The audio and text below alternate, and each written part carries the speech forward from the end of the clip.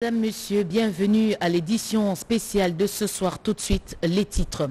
La série noire continue sur la nationale numéro 1. Hier, 15 personnes auraient perdu la vie, 10 autres manquent toujours à l'appel.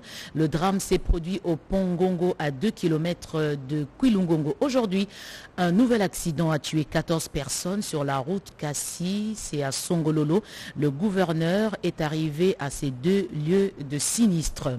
Changement à la tête du commandement des opérations militaires au Kivu, le nouveau patron, c'est le général Yav Irung Filemon. Ce dernier a officiellement pris ses fonctions. Nous sommes attaqués par des nations, a-t-il déclaré avant de lancer un message aux militaires procès des kidnappeurs des enfants à Kinshasa. Les présumés auteurs passent aux aveux et refusent de dénoncer le réseau. L'audience se tient à la prison centrale de Makala. Voilà tout pour le sommaire. Encore une fois, bonsoir et bienvenue à la grande édition de ce soir qui vous est proposée à une heure de retard. La raison est toute simple. Vous avez suivi en direct sur votre télévision le match. Euh, qui vous a été proposé dans le cadre de la Cannes féminine Maroc 2022 et on connaît la première nation à se qualifier pour les demi-finales. Il s'agit de la Zambie. Nouvelle évaluation du programme des 100 jours du chef de l'État selon le comité de pilotage du Conseil présidentiel des veilles stratégiques. Ce programme a été exécuté à près de 73%. C'est ce qui reste qu'a présidé le chef de l'État Félix Antoine Tshisekedi Chilombo. Le programme de 100 jours du chef de l'État a été réalisé à 73% de réussite, tel que l'indique l'évaluation du comité de pilotage du Conseil présidentiel de veille stratégique, CPVS, un organe de la présidence de la République. C'était au cours de la réunion tenue ce mardi 12 juillet à la Cité de l'Union africaine, sous la présidence du chef de l'État Félix Antoine Tshisekedi Chilombo, président du CPVS. La méthodologie des travaux du CPVS et le recentrage sur les priorités à faire, telles sont les questions passées en discussion et adoptées au cours de cette rencontre entre le chef de l'État et les membres du comité de pilotage de cette structure dont le Premier ministre Jean-Michel Samaloukonde, le ministre du Budget, de Finances et du Plan, ainsi que les directeurs des cabinets du chef de l'État. Quatre points méthodologiques de la coordination du CPVS ont été validés par le membre du comité de pilotage, à savoir le recentrage des priorités, renforcer l'interaction entre les CPVS, la présidence de la République et le gouvernement, résoudre le problème de réforme et mettre en place une stratégie de communication. Au cours de cette même réunion, il a été validé les nouveaux membres du comité de pilotage et la nouvelle orientation stratégique du CPVS. Après plus d'une heure d'échange avec le garant de la nation, le coordonnateur du CPVS, François Mouamba Tichimbi, s'est exprimé en ces termes. Euh, tous les trois mois, nous avons vocation à nous retrouver autour du président de la République pour faire le point et c'est ce que nous venons de faire. Et ça a permis effectivement de constater que parfois, euh, le problème que nous avons en tant que euh, service de l'État, c'est qu'il y a des choses qui se font, mais qui, ne sont pas euh, restituées de la manière qui convienne à la population, qui a l'impression que rien ne se fait. nous avons passé une partie de cette réunion à montrer qu'est-ce que le CPVS a accompli, mais nous sommes conscients que on peut faire mieux. Et nous avons organisé entre-temps un atelier euh, qui nous a permis effectivement d'identifier les points sur lesquels cette amélioration était possible. Et c'est donc euh, le fruit de ce travail-là que nous avons présenté euh, au comité de pilotage pour sa validation. Et ça a été validé, donc nous repartons regaillardis.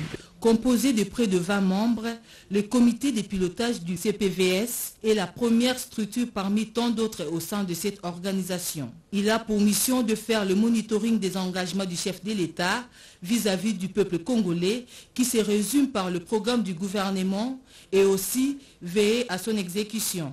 La première réunion du comité de pilotage a eu lieu le 4 août 2020. Pour plus d'efficacité dans la conduite des opérations militaires au Nord Kivu, le commandant suprême des FARDC a restructuré le commandement. Désormais, c'est le général Yav qui prend la tête des opérations. Il a donné les couleurs sur le nouvel état d'esprit à tous les hommes sur le terrain. Faisant suite à la volonté du commandant suprême des forces armées de la République démocratique du Congo, exprimée par le chef d'état-major général des FARDC dans son télégramme numéro 01 307 bar commandement bar 2022 du 6 juillet 2022 portant réaménagement du commandement dans la province du Nord Kivu, une remise et reprise du commandement des opérations dans cette province a eu lieu entre les gouverneurs militaires, le lieutenant général Ndima Konga, commandant des opérations sortant et le commandant 3e zone de défense, le lieutenant général Yav Irung Filemon, commandant des opérations entrant, c'est 12 juillet 2022 à Goma. Pour le commandant des opérations sortant, ces changements dans la conduite des opérations s'inscrit dans le cadre de la continuité des opérations que mènent les forces armées de la République démocratique du Congo et puis que cette partie de la province est agressée par le Rwanda. Notre hiérarchie attend de nous devant cette petite restructuration, je crois que c'est toujours dans ce sens que la haute hiérarchie tient à ce que les opérations soient plus efficaces sur le terrain pour que nous goûtons dehors de notre territoire l'ennemi qui nous agresse de son côté, le lieutenant général Yav Irung Filemon, commandant des opérations entrant, recommande à tous les hommes en uniforme d'avoir une attitude responsable dans cette période d'agression de notre pays. Ça a pris d'autres proportions, ce n'est pas, ce n'est plus le 23, ce sont des nations qui nous attaquent. À cet effet, je vous demanderai tous, tous les officiers, tous les militaires qui sont dans ce secteur aussi des services ce n'est qu'une demande. En fait. Pour le militaire, c'est peut-être un ordre. Pour le service, ce n'est qu'une demande. Tous les militaires dans ce secteur, désormais, il faut se comporter dans un secteur qui est en guerre. Donc tout le monde doit se comporter en tant que tel. Il s'y est de noter que cette cérémonie a eu lieu en présence de plusieurs officiers généraux et supérieurs, notamment les commandants 34e région militaire et les commandants 33e groupement naval. Reddition du chef de la milice FPIC en Ituri, Songambe laissé son nom, a quitté la brousse. Il adhère au processus de paix. C'est la suite à l'acte signé pour la cessation des hostilités. C'était il y a quelques semaines. Souriant et calme, Songambele Malali, chef de la milice FPIC, dite Chinia Kildima, favorable au processus de paix à Ituri, a pour la première fois accepté de quitter son quartier général pour échanger avec l'administration militaire par le billet du numéro 1 du territoire du.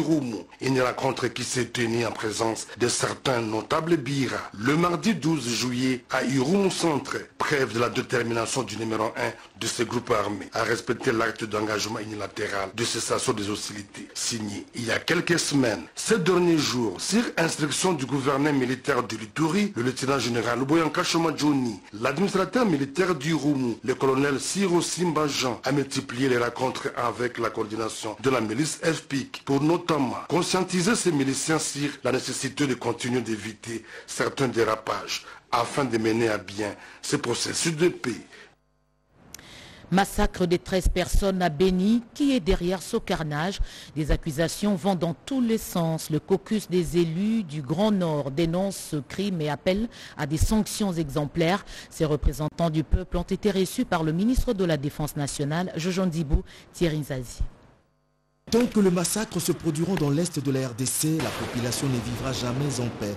Voilà qui justifie cette énième rencontre du caucus des députés du Grand Nord Kivu, conduit par leur président, l'honorable Baliesima Kadukima Albert, reçu par le ministre de la Défense nationale et ancien combattant Gilbert Kabanda Kourenga sur les récents massacres ayant causé la mort de 13 personnes au centre de santé de référence de Loumé, où même de véhicules et des maisons ont été incendiés sur l'axe routier Béni Kassindi en territoire des Bénis Nous sommes là dans la province du Nord Kivu. Il y a une confusion euh, sur l'identité de l'auteur de ce massacre. La population pointe du doigt euh, certains commandants des FARDC. Il y a aussi les FARDC qui pointent du doigt les Maïmaï, les Maïmaï Ira et les chefs locaux, certains de chefs locaux pense que c'est l'ADEF qui a, massacré, qui a tué euh, la population à, à. Le ministre de la Défense, Gilbert Kabonda, a saisi cette opportunité pour solliciter auprès des élus du Grand Nord d'amorcer une campagne de sensibilisation au sein de toute la communauté en termes d'élection morale et d'appel contre l'immoralité. Un lobbying des femmes leaders de la région des Grands Lacs pour la participation de leurs congénères au processus de paix. Catherine Samba Panza, ancienne présidente de la République centrafricaine et à Kinshasa, elle a échangé avec le coordonnateur national du mécanisme de suivi de l'accord cadre d'Addis Abeba, Robert Ndaïchi Sensei.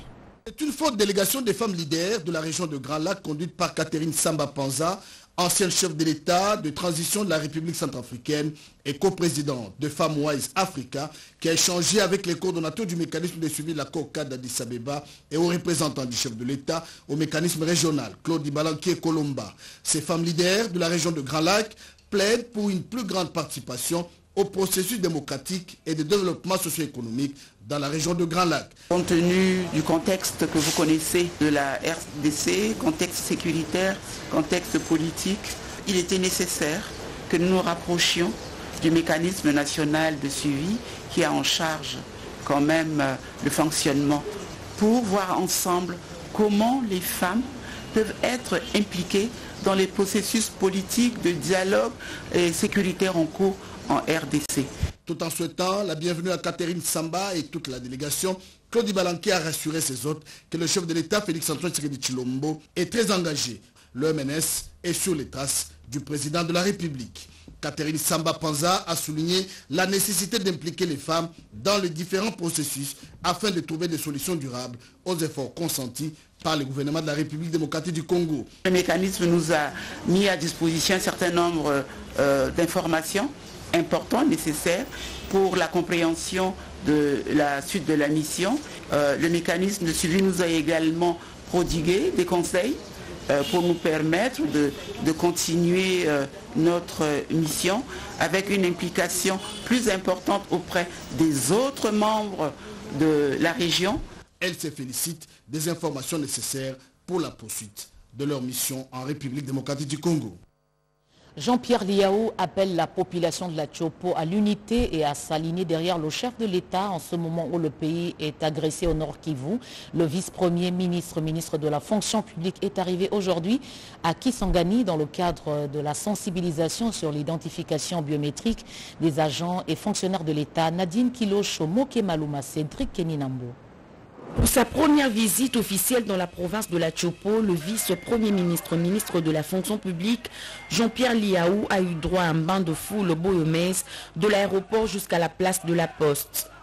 Le vice-premier ministre, ministre de la fonction publique, est accueilli avec ferveur par la population de Kisangani. Face à l'agression dont fait face la République démocratique du Congo dans sa partie Est, l'unité de tout le peuple congolais derrière le chef de l'État s'impose comme impératif à marteler Jean-Pierre Liaou à la place de la Poste.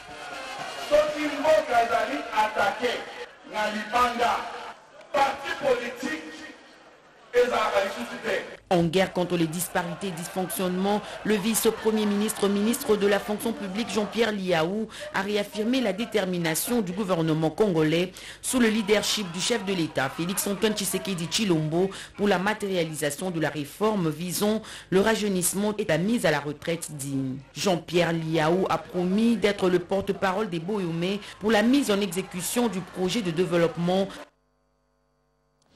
en route vers la COP27, les préparatifs vont bon train. C'est dans ce cadre que la vice-première ministre, ministre de l'Environnement, F. Bazaïba, a réuni différents acteurs. Dans le cadre de travaux préparatoires de la 27e conférence de partis signataires de la Convention cadre des Nations Unies sur le changement climatique, la VPM de l'environnement et développement durable, Eve Bazaï Bamassoudi a échangé avec le diplomate et ambassadeur accrédité en République démocratique du Congo, membre du groupe de changement climatique. Question de faire le point sur le préparatif pour la réussite de ces forums.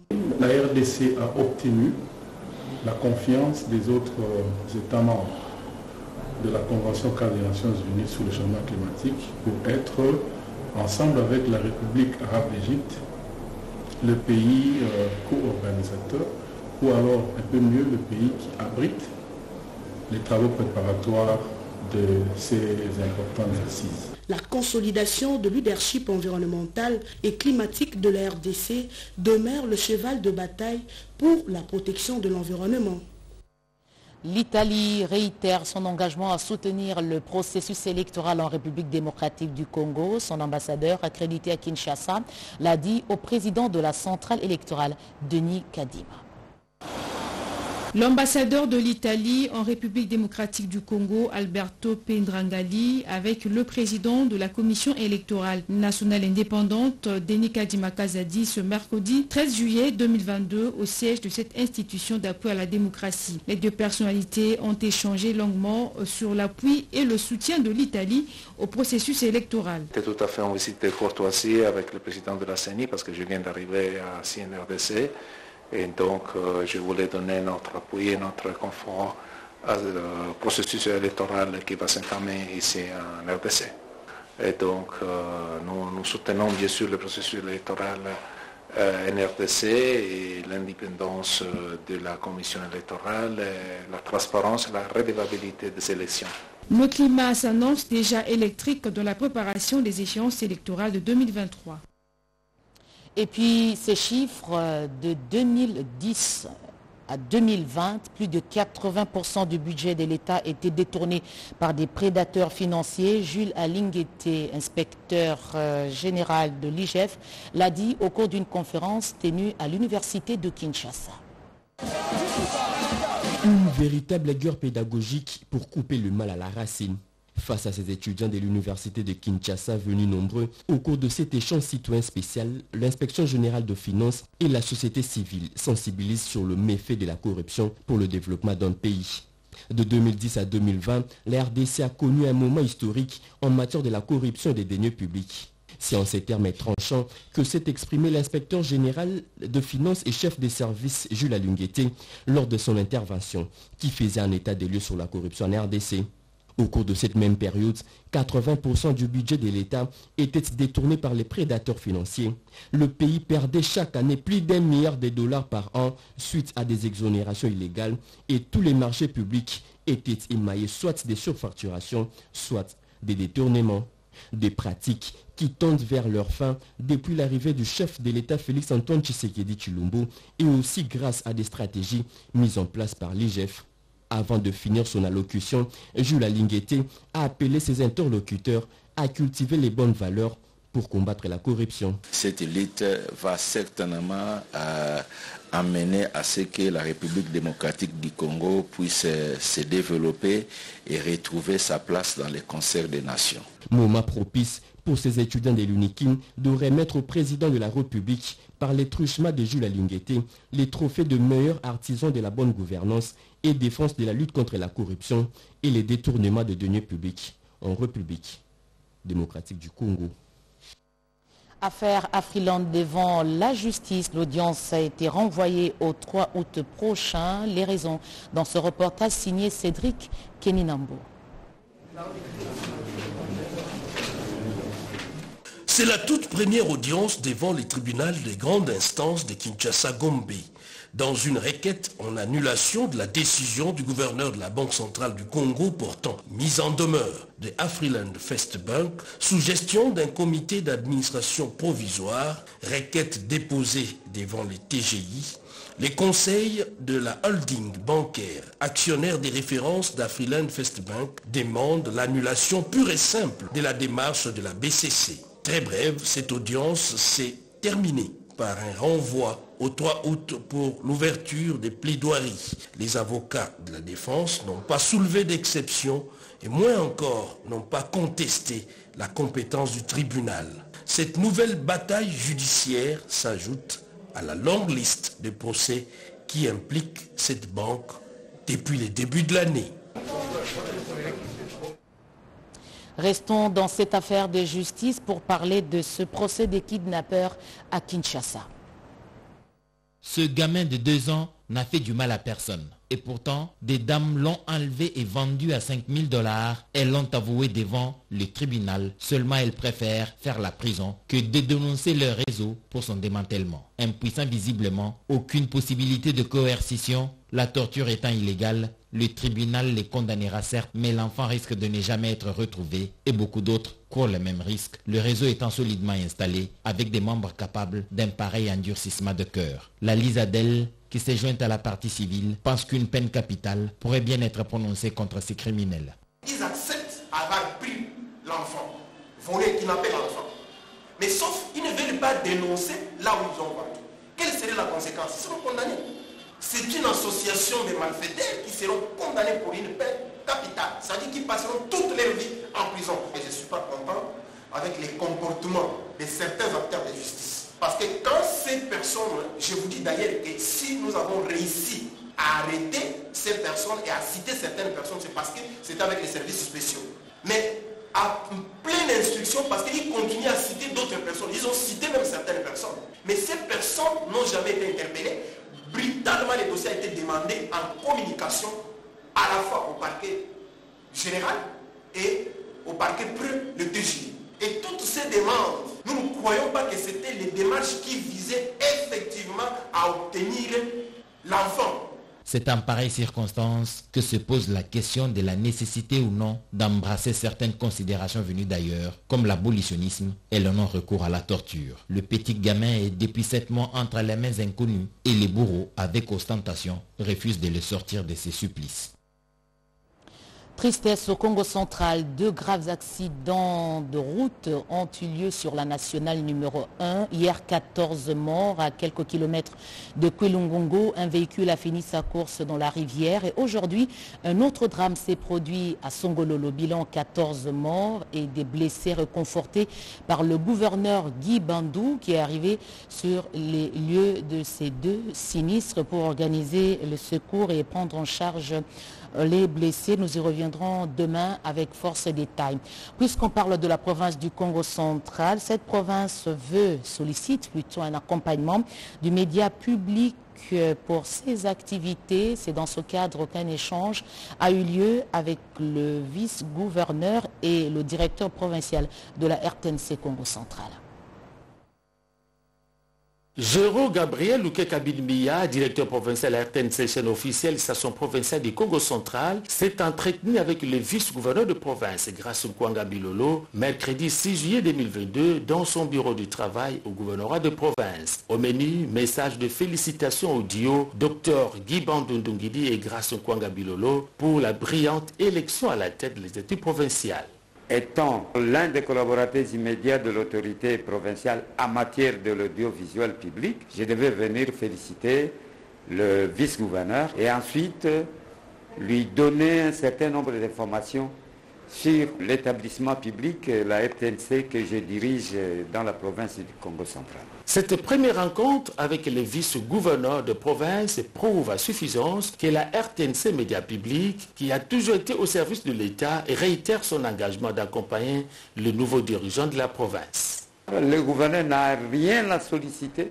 Nous devons faire notre devoir. Ce devoir se résume en ceci. Accompagner le gouverneur sur le plan politique, culturel, dans son mandat, nous devons faire la visibilité des actions du gouverneur et du gouvernement provincial et d'autres institutions provinciales. Nous devons défendre les intérêts que défend le gouverneur.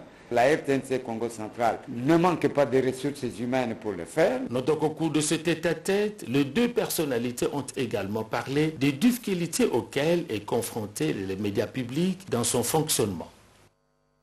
Comment organiser le secteur de l'exploitation artisanale minier? Des résolutions ont été adoptées au cours d'un atelier organisé au site touristique de Zongo, dans la province du Congo central, travaux présidés par la ministre des Mines Antoinette Samba.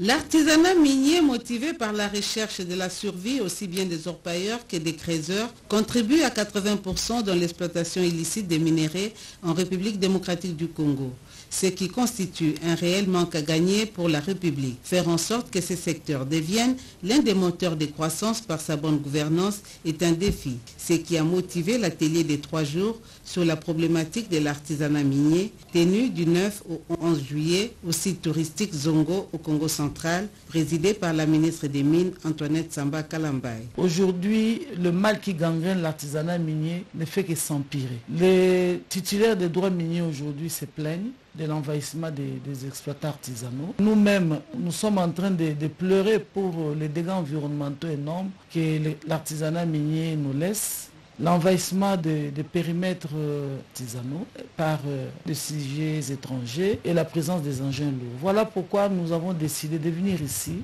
de réfléchir, de trouver des voies et moyens pour rendre l'artisanat minier normal. Pour sa part, le DG de la CSC, Freddy Mwamba, confirme l'accompagnement de sa structure aux exploitants artisanaux. Notre apport est de mettre en place ces différentes machines, ce qu'on appelle les laboratoires, pour accompagner euh, les dosages et la détermination des, des ténèbres. Les résolutions issues de ces assises seront soumises au Conseil des ministres pour approbation. Kinshasa Zéro Trou, ce projet qui concerne quelques kilomètres des routes dans la capitale, évolue bien. Constat fait par le ministre d'État des Infrastructures et Travaux Publics, Eurydice Kitoutoumodiri. Bonne évolution des travaux de la voirie urbaine de Kinshasa dans le cadre du projet Kin Zero Trou. Constat fait par Alexis Guissaro Mouvouni après avoir palpé les réalités sur terrain accompagnés du directeur général de l'OVD et celui du bureau technique de contrôle, ils ont parcouru trois districts de la capitale congolaise. À la Tchangou, pour commencer, l'entrée Njili est achevée sur 3 km. Plus loin, sur le boulevard Kinkole, les travaux sont en cours après la prise en charge d'une érosion qui dérangeait la route en pleine réhabilitation. Et sur l'avenue Bossango, la problématique du ruissellement des eaux a été résolue après la construction des ouvrages d'assainissement. À Moamba, c'est un tableau satisfaisant avec le Dalo en construction. L'avenue Mulumbakachi dans la commune de Lemba est revêtue de sa jolie robe. Point de chute de ce périple, la Funa précisément sur l'avenue Victoire où les travaux évoluent bien. Nous sommes dans la phase terminale parce que c'est l'asphaltage maintenant qu'ils sont en train d'effectuer. Il faut signaler que sur cette avenue Victoire, nous avons fait deux types de travaux. Sur certaines parties, nous avons travaillé en termes de, chaussée rigide, donc en bétonnant euh, la chaussée. Mais ici, nous sommes en train de, le faire euh, euh, en, asphalte. Le ministre d'État des Infrastructures et Travaux Publics, Alexis Guissaro-Mouvouni, invite les Quinois au civisme, surtout pour les ouvrages d'assainissement. Comment fonctionne l'Assemblée nationale? Comment se passe ce devoir de redévabilité et de transparence dans la gestion des affaires publiques? L'Union des Congolais pour le changement, cette structure a procédé à un monitoring. Les députés d'aujourd'hui, comme les députés de tous les temps, sont toujours sous les projecteurs de la jeunesse, mieux de l'ensemble de la population congolaise. La redévabilité et la transparence sont parmi les principes sacro-saints dans la gestion des affaires publiques. L'Union de la jeunesse congolaise pour les changements UJCC a initié un travail de monitoring des activités parlementaires, spécialement à l'Assemblée nationale pour la session de mars 2022. C'est pour permettre à la jeunesse congolaise de comprendre le fonctionnement de cette institution républicaine et y apporter un vent nouveau de changement au niveau des instances de prise de décision. Dans le cadre du projet Tofaoulou Pamojam pour dire réussissons ensemble le jeune du Forum national de la jeunesse pour l'excellence FNJE et les amis du lycée technique scientifique à LTSL, structure membre de l'Union de jeunes Congolais pour les changements, plateforme de la société civile faisant partie du Conseil national de la jeunesse se sont retrouvés pour évaluer les travaux de monitoring réalisés à l'Assemblée nationale. Ça s'appelle le contrôle citoyen. Le contrôle parlementaire, c'est euh, l'une de nos organisations que nous avons mis sur pied pour pouvoir suivre euh, le fonctionnement du Parlement et donner un rapport ce rapport sera utilisé par ceux qui ont des ambitions pour qu'ils puissent comprendre. Lorsque vous comparez la, cette plénière de mars à d'autres plénières, cette fois-ci, le président s'est comporté quand même assez normal. Il était euh, ouvert avec tout le monde. L'avantage, c'est tout d'abord rencontrer les jeunes, rencontrer la population, rencontrer les femmes. Euh, plus on rencontre les gens, plus on apprend beaucoup et plus on s'améliore. L'UJCC, l'Union des jeunes congolais pour les changements, a réservé une note positive à l'Assemblée nationale dans le partage des paroles aux députés pour les interventions lors des débats des plénières. Et c'est la fin de ce journal. Madame, Messieurs, merci de l'avoir suivi avec beaucoup d'attention à travers le monde. De retrouver à 23h José Baïtouambo. Demain 20h, Sandra Nyangui. Restez avec nous, le programme continue.